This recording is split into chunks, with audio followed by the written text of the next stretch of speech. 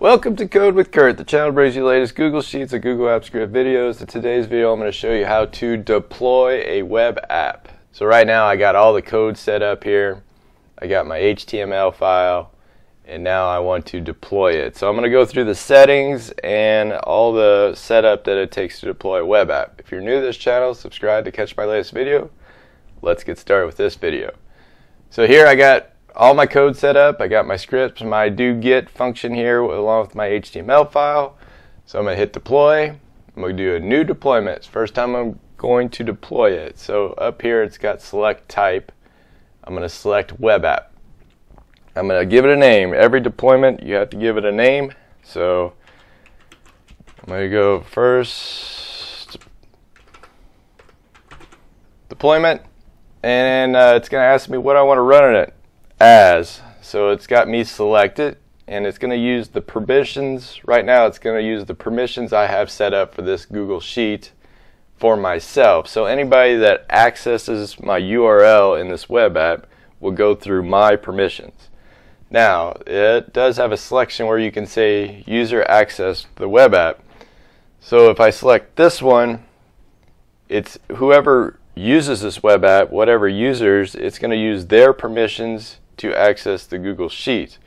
So if they don't have like right right permissions to access the Google Sheet, they're not going to be able to use it. But if they use my name as I got set up here and I got permissions to write, they're going to use my permissions to execute the Google Sheet. So I'm going to keep it as my name here. I want everybody to flow through my permissions. The next one, who has access? Now, right now, it's only myself will have granted access. I can change it to anyone that has a Google account. So that requires somebody to have a Google account to log in and they can access it. And then there's one that's anybody. So anybody that doesn't have a Google account, just has the URL, can access this. So right now I'm going to set it as only myself. Now, if you're deploying out to a bunch of people, that you may not, not everybody has a Google account, then I would select this one, but that opens it up to the entire world. So whoever has your URL can access this program. If you use only a Google account, that's just allowing anybody has a Google account, but it's still opening up to everybody. And then if you just do yourself, that's just yourself. No one else can access it but yourself and your account. So in this example, I'm just going to keep it as myself here. So I'm going to hit deploy. And now what it's doing is it's figuring out the permissions, see if I have permissions on here, and it's going to take me through the permission setup here. Alright, so now it's asking me the web app requires you to authorize access to your data, so I'm going to say authorize access. That's going to take me through my permissions here. So I'm going to select my account here. I'm to hit advanced. I'm to hit go through web app display sheet down here. And now I'm going to allow it. So it's basically saying I'm allowing it to edit, create, and delete Google Sheets, spreadsheets. I'm allowing this web app to do this. So I'm to hit allow. So now it's giving me my, my URL down here. And this is the one that I'll be using to access. So I'm going to hit copy here. I'm going to go to a new sheet over here. I could copy and paste that in. And there. There I have it displayed here.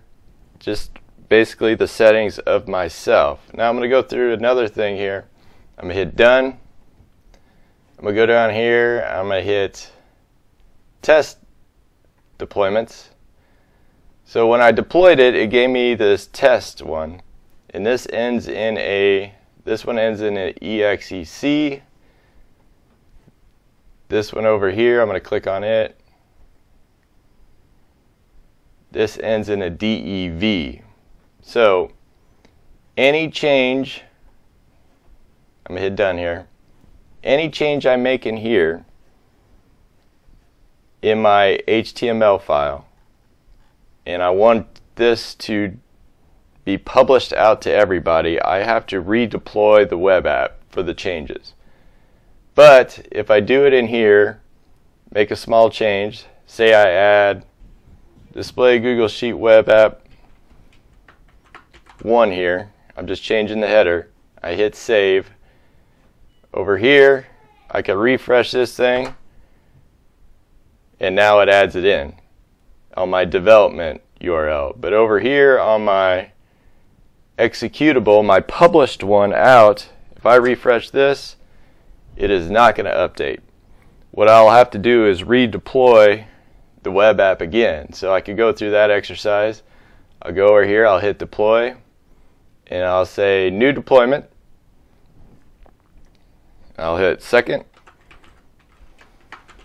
I go through the same questions. Like that, I'm going to execute as myself with my permissions and only myself again. Just to, you know, just for this exercise, I'm going to do only myself. I'm going to hit deploy. Now it's going to produce another URL down here, which I'm going to click. This is another EXEC one. Now it has my changes in here. So this is my second deployment. I still got my developer link over here in my second.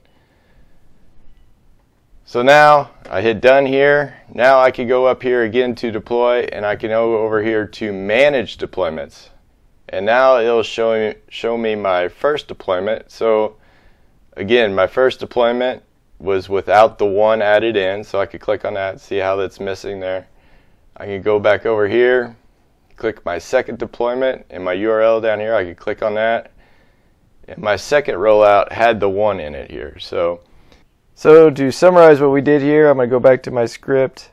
If you make any change in your HTML file here and your or your GS file as well, you'll have to redeploy to get a new EXEC URL right here to get the to display your latest changes. And this is the one that you want to give out to people to use. This is the URL that you want people to use. This is like your production copy. For your DEV URL over here, so when you make your changes for testing wise, you could check it here on the DEV without having to deploy it to the EXEC URL. So this is where you can test your changes before deploying. That concludes this video. If you have any questions or comments, please leave it below the video. Until next time.